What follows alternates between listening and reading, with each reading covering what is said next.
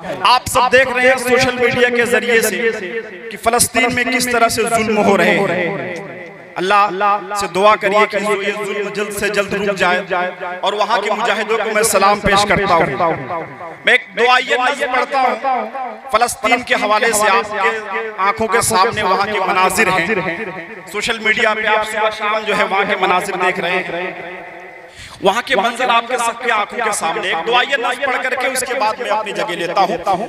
आपको सुबह अल्लाह अल्हम्दुलिल्लाह बिल्कुल नहीं कहना खामोशी से ये नज़ सुननी है। सुने।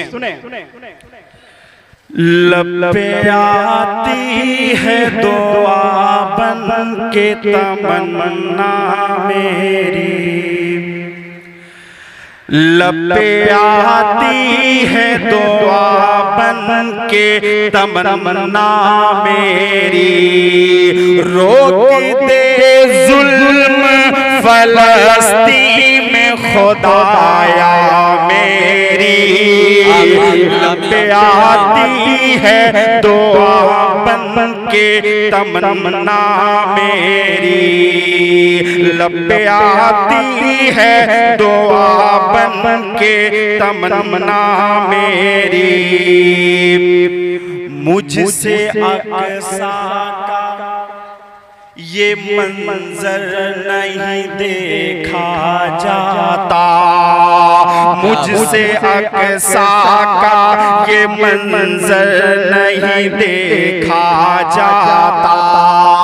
मस्जिदें सुनी है। मस्जिदें सुनी है मेंबर नहीं देखा जाता। इस सदी के लिए दुनिया में उम्र पैदा कर। या मेरी तेग में यू अयूबी असर पैदा कर। कितने सर सजदों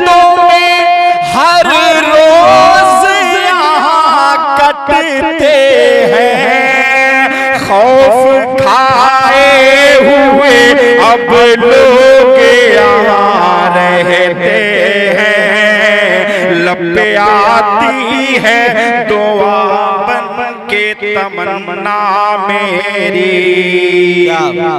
आमीन।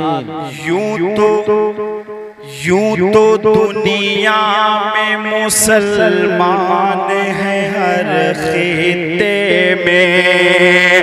यूँ तो दुनिया में मुसलमान है हर खिते में मर गई गैरत इस्लाम हर सीने में तेरा घर आज यहूदी के निशाने पर है सर उम्मत तेरी शोलों के दहाने पर है।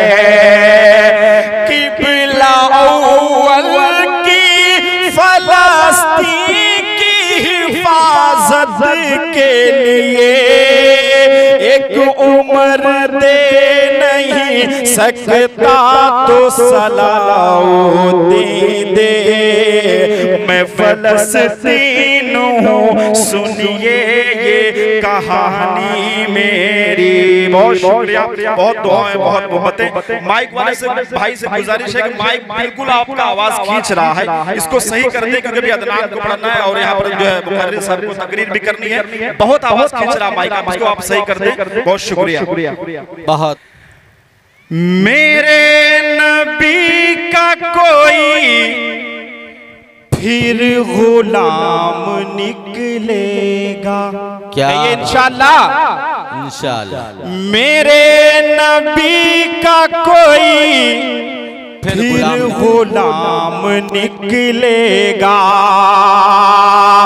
ये मदरसे हैं यहीं से इमाम निकलेगा। जिंदाबाद जिंदाबाद। हम इमाम का मतलब ये समझते हैं कि सिर्फ़ मस्जिद का इमाम।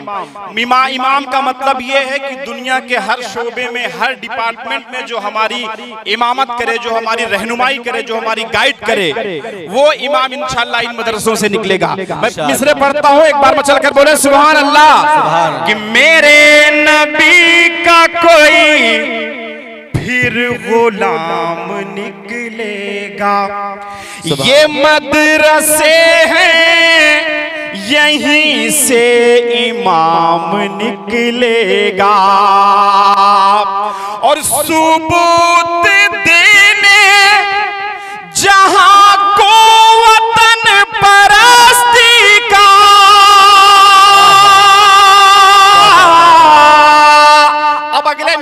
बलुआ वालों जुड़ना कि सुबूत देने जहाँ को वतन परस्ती का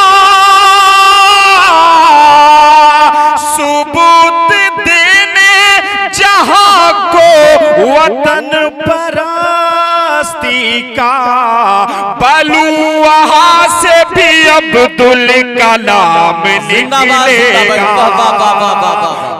जिंदाबाद जिंदाबाद। वाह वाह वाह। अब्दुल कलाम। काबिल मुबारक। जिंदाबाद जिंदाबाद।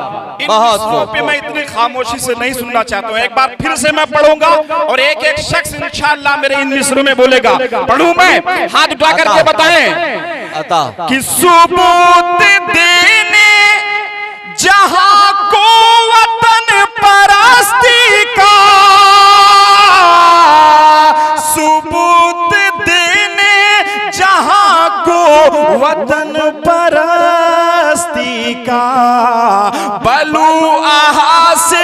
अब्दुल कलाम निकलेगा।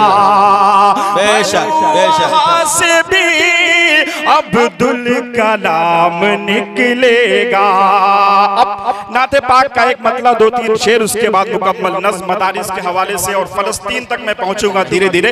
एक बार मैं चलकर बोले सुबहान अल्लाह। नाते शरीफ का मतलब पढ़ता हूँ। आप जब नबूवत का क्या बात। आप जब नबूवत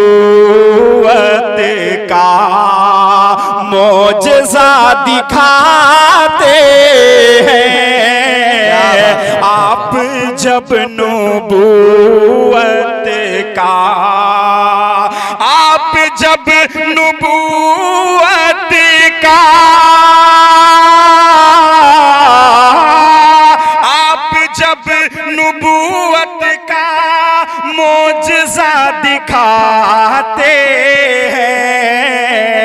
चाँद टुकड़े होता है पेड़ चल के आते हैं।